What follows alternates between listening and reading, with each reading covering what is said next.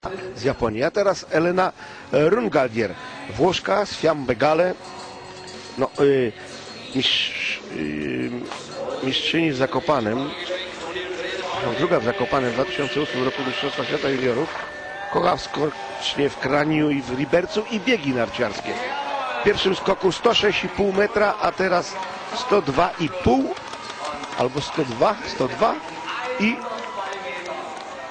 Elena Rungardier zostaje nową mistrzynią świata. Niemki, Austriaczki, yy, Norweżki, no, Finki, Francuski i sporo Czeszek również. A nawet